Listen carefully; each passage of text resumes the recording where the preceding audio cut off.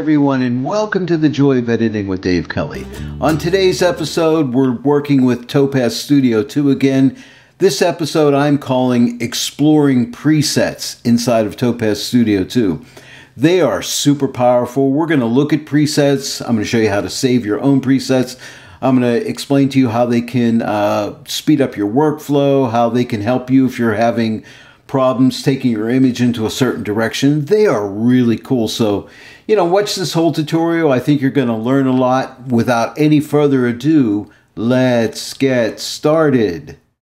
We're starting right out here in uh, Topaz Studio 2, which I like to refer to as my creative toolbox. Now, today we're going to uh, be exploring presets.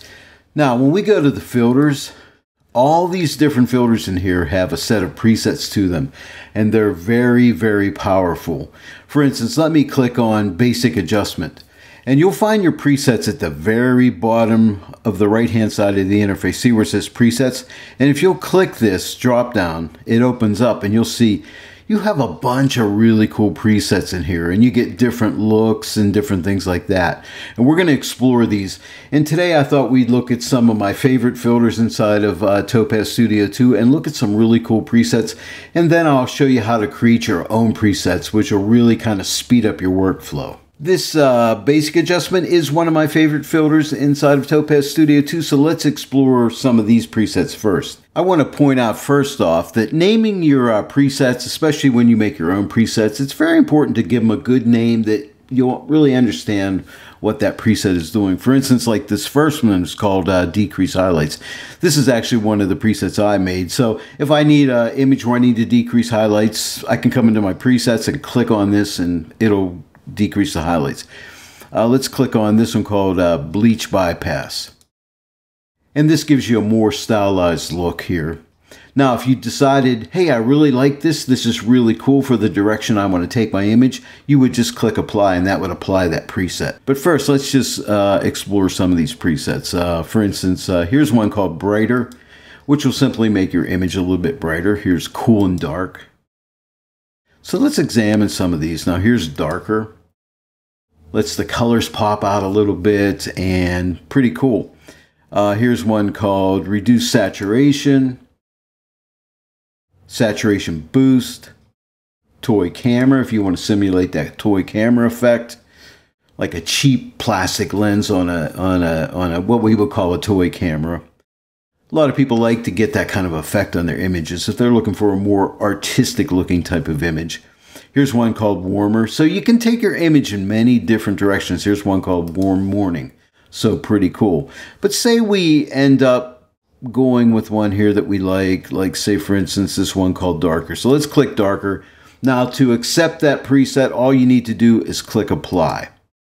And once you click Apply, that preset will be applied. And you'll notice here, this uh, preset has pulled your exposure back. It's increased your clarity a little bit. It's increased your highlights. It hasn't touched your shadows and it hasn't touched your black level or white level or your saturation or temperature or tint. But it's just simply darkened the image. And then from there, you can go ahead and change things. You might say, you know what? I want my shadows a little bit darker. So you can move the shadows to the left. But see, it's a nice starting point. But this will, you know, presets will really help you get your image started and moving along, and it'll it'll actually, in my opinion, speed up your workflow to really help you out, especially if you're not sure which direction to take an image. Let's keep exploring. So let me go ahead and delete the basic adjustment. Let's go to the next filter uh, called brightness contrast. You might say, oh, that's not a real fun filter, but you know what? This is a filter you'll use a lot when you're in uh, working on your images. Let's say you added a filter and now it looks a little bit too light, so you would simply use the brightness contrast filter to darken it up a bit, or it lost some contrast. You might want to add some contrast. And look, we have some cool presets in here. Here's one called black and white negative. So it kind of inverts the image. Pretty nice. Bright and cheery, brighter, color pop. So it doesn't have a real exciting name, the brightness contrast filter, but look at these presets. There's some really cool presets in here. Dark and dramatic. And so, again, this will really help you maybe take your image to a new direction when you start playing around with some of these presets. You'll say, hmm, I really like what that's doing to my image. Here's one called high contrast or low contrast. And again, when you get one you like, say, I like this dark and dramatic one right here, you can just click apply and apply that filter. Now, see this slider right here? Now, I want to explain something about this slider. It was a little confusing to me at first. If you take this slider, it's the opacity slider to the filter. You can pull it back like this and say, you know what, I like this effect, but I like it not quite as strong, so I may want to pull the opacity back on it.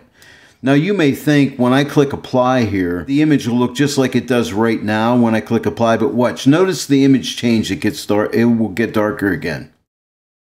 And this brought me a little bit of confusion because you can see it's darker again, right? That particular uh, slider in the preset kind of lets you see what will happen to your image when you reduce your opacity of that particular filter. It doesn't actually apply it when you click apply. You will have to come and take this opacity slider and pull it back if you want to ease up in that effect. But again, it lets you see what effect will take place if you pull that opacity slider back. And that brought me a little bit of confusion, so I wanted to point that out to you so you don't get tripped up by that slider and say, "Hey, wait! I thought I, I thought I uh, took some of that effect away, but it looks strong now."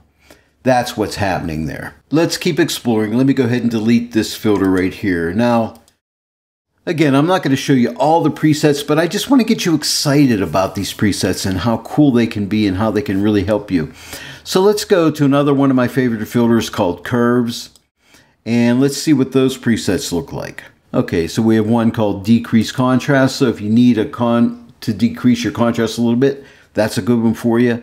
If you need to drop your highlights, um, click on this one, like this flower right here before if you'll notice right there, see how it's a little blown out? It looks a little bit light, this flower right here. And now with that drop highlights, it kind of tames that down. So that's cool. Here's one called Increase Blue. Here's Increase Contrast.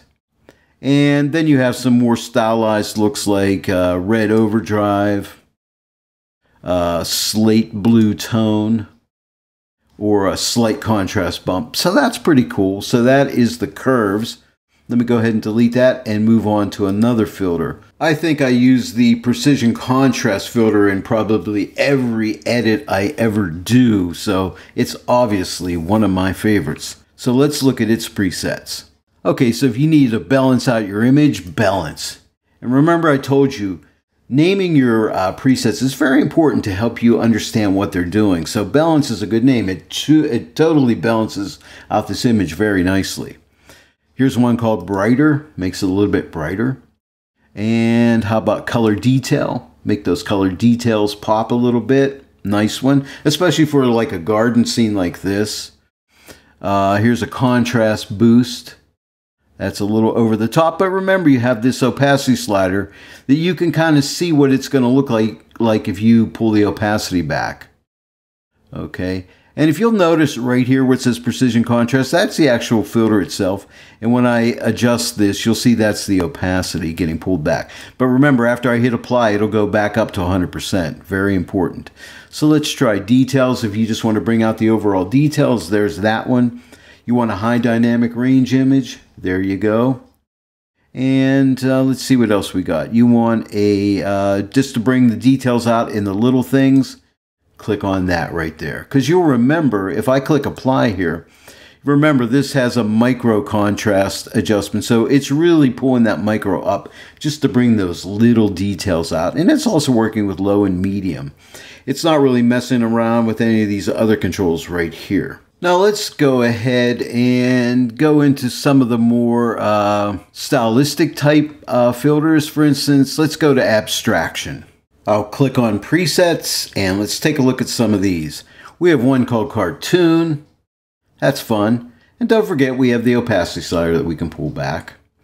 Here's color variations. Here's uh, simply simplified. I like that a lot, very painterly. Here's one called uh, subtle simplify.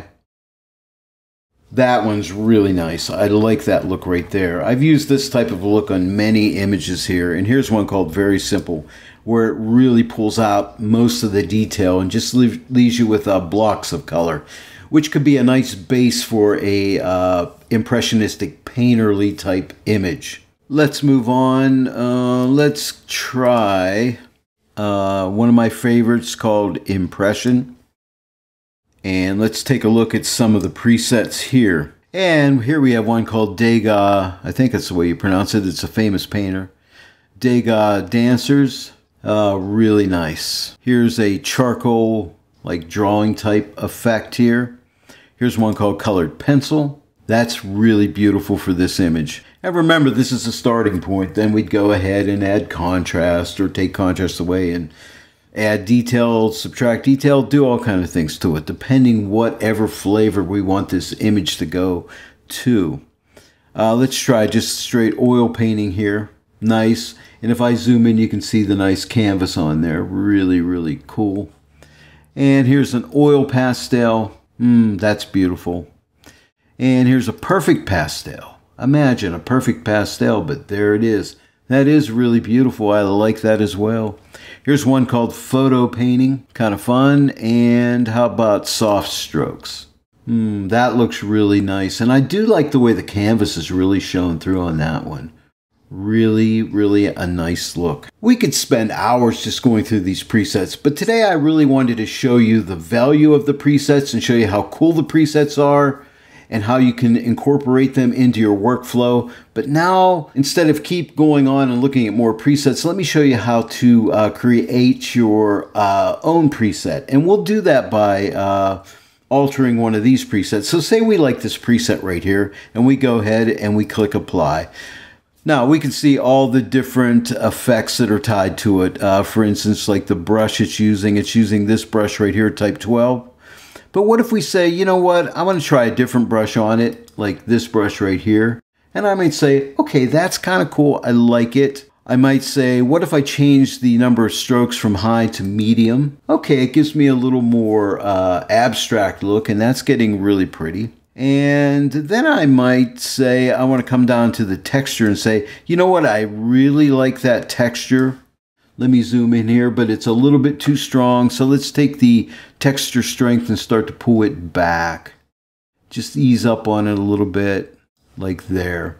All right, and say, I like that. I want to save it as a preset. All you have to do, see this icon right here next to the reset icon?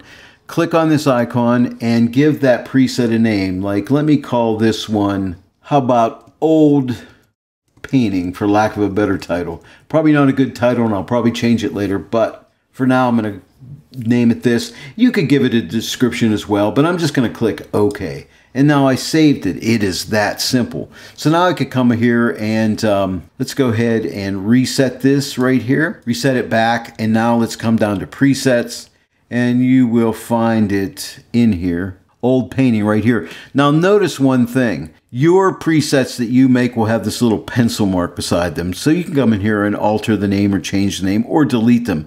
You'll notice the ones that you have not created, you can't delete them. They are part of the uh, Topaz Studio 2 program. So right there. So now if I click old painting, there's that effect applied to the image right there. And now all I have to do if I say, yeah, I like that, click apply, and then I can come and alter it and work from there. But that's how easy it is to save presets, and I highly recommend that you do that. Well, there it is. We explored presets inside of Topaz Studio 2. They can, they can speed up your workflow. They can help you if you're kind of stuck and if you're not sure which direction to take an image, that's great. Or if there's certain uh, filters that you use a lot and there's a certain look that you like, like I like to use the precision contrast and precision detail filters a lot. A lot of times I'm doing just certain things with those filters I can save that out as a preset. And then instead of adjusting it each time manually, I can just click on that preset and get me there quicker. So that's what I mean by speeding up the workflow. I hope you enjoyed this tutorial today. If you did, please give it a like and share it with your friends. And if you're not yet a subscriber to my channel, please subscribe and click that bell notification icon. And then every time I upload a new tutorial, you will be notified about it. I want to thank each and every one of you for joining me today on The Joy of Editing with Dave Kelly. I'll see you all right here next time, but until then, happy editing!